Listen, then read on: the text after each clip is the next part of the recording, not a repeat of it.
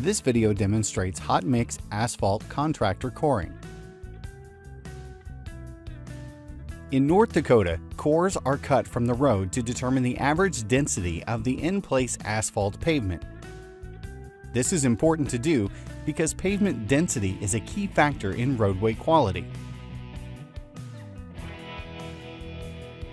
The number of cores needed is based on a unit of measurement called a sublot. A sublot is defined as a single lift, one paver width wide and 2,000 feet long. Two cores are cut from each sublot. A lot is defined as the entire day's paving. The averages of all sets of cores within the sublots are combined and then averaged. That final value is compared to the specification requirements for that project core locations are determined by a representative of the North Dakota DOT using a random method. Once determined, the random locations are written on the State Form number 10071 Compaction Control. That form is taken to the field and the DOT inspector marks the locations on the roadway for the contractor's coring crew. The sample number assigned to each core is marked on the road. If a location is within one foot of the pavement edge, an alternative location is selected by the engineer. Coring should not begin until sufficient cooling has been achieved to prevent damage to the road and cores. Typically, coring is completed early the morning following paving and must be completed no later than the next working day.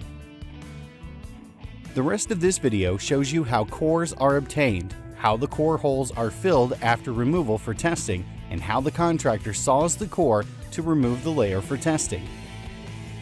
To conduct the test, you need a coring machine, water, scoop, spatula, tamper, and core extraction tool.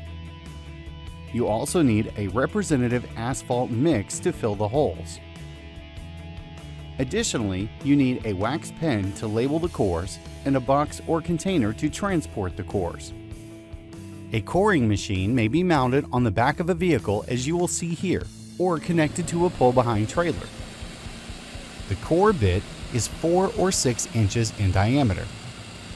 The contractor's coring personnel and the DOT inspector will meet at the pre-marked coring locations. The coring machine will be placed at the designated location set in place and the motor started. The water is also started. The bit is lowered and once it is in contact with the roadway surface, it is important to maintain a constant downward pressure. The core bit must be at right angles to the pavement surface to ensure that the resultant core is reasonably straight. Do not force the bit through the pavement. Excess or inconsistent pressure may result in uneven cores that will be difficult to remove. Each core is drilled through the full depth of the pavement. The second core should be drilled at least 6 inches but not more than 12 inches from the first core in the longitudinal direction of the roadway. Once the cores have been drilled, they are removed or extracted. An extraction tool may be helpful if one is available. A spatula or screwdriver may also be used. Be careful not to damage the core.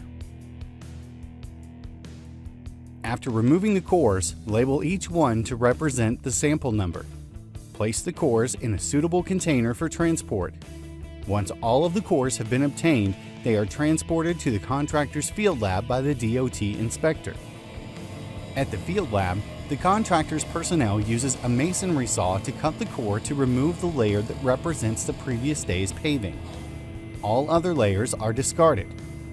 The remaining layer is retained and the DOT's tester will determine the density of the core according to T166 bulk specific gravity of compacted asphalt using saturated surface dry specimens. This contractor created a custom device to secure the core while cutting. The device held the core securely and provided a space for the saw blade. Once the DOT's tester completes testing, the result of each core is recorded on State Form number 10071 Compaction Control. Then, the average is calculated. The calculated average is then transferred to State Form number 59132 Density Pay Factor for the final calculations. The final step in the coring process is to fill the holes. Specifications require that core holes are filled before the next layer of pavement is placed. If no additional layers are placed, the holes must be filled within 24 hours of obtaining the core. Remove any freestanding water before filling the holes. A shop vac is used in this video to easily remove the water.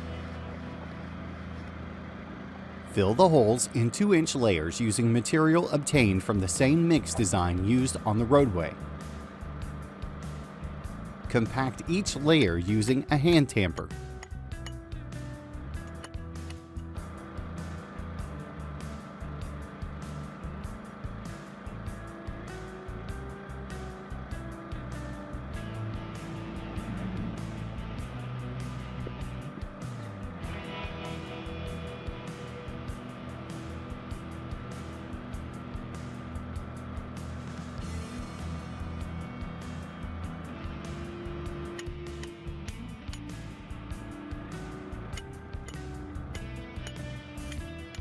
The finished core area should be level with the surrounding area and closely resemble the texture and appearance.